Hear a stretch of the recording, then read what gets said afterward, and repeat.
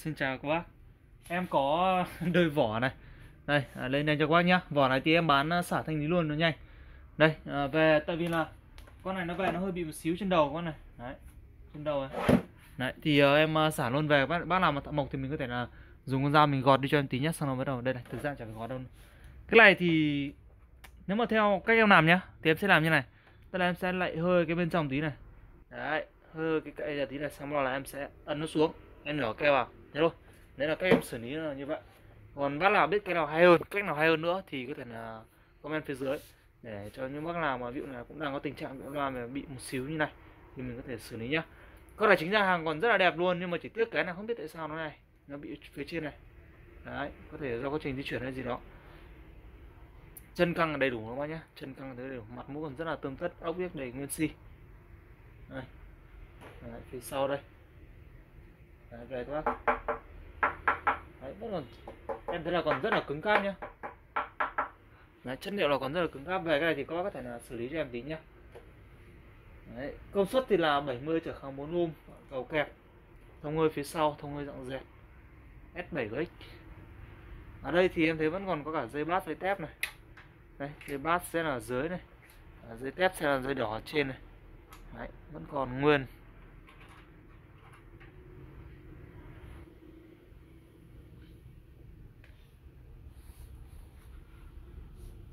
Về ờ, kích thước thì em đo luôn cho các bác này.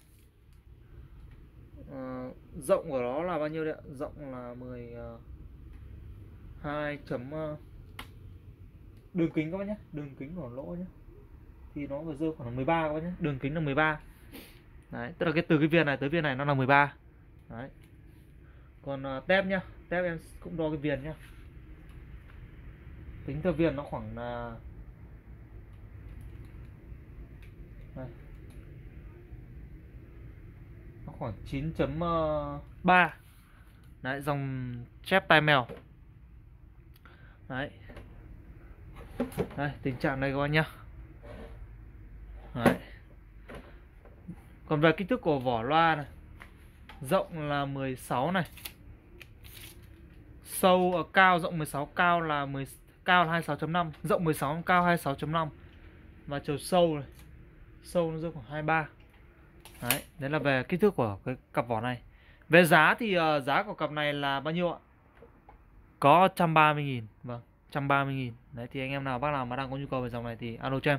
Về các bác chỉ ngồi mất em nghĩ là chắc chỉ còn vài phút thôi là xong tầm khoảng ờ, 50 phút. Đấy còn bình thường để mà đi mua một con này các bác nhé đi gióng một cái vỏ như thế này các bác phải mất ít nhất tới tầm em nghĩ phải tầm khoảng bét nhất cũng phải tầm khoảng 600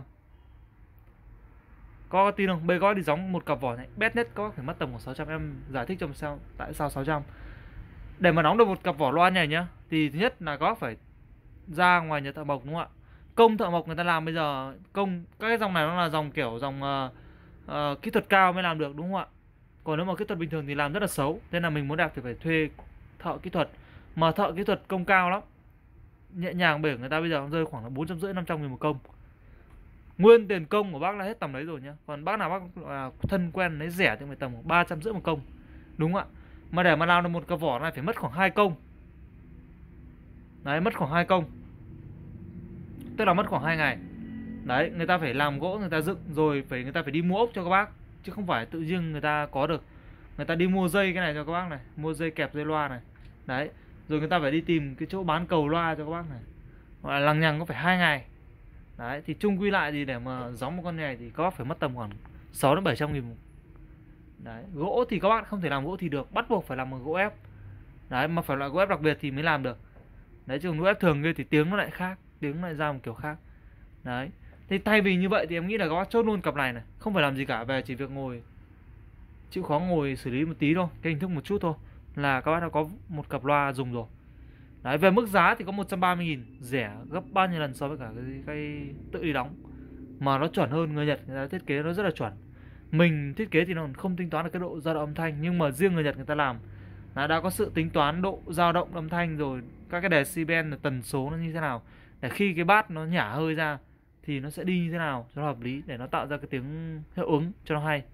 Thì đấy là một chút phân tích để các bác thấy rằng cái mặt lợi mặt hại của đặt vỏ nhè và tự đi làm.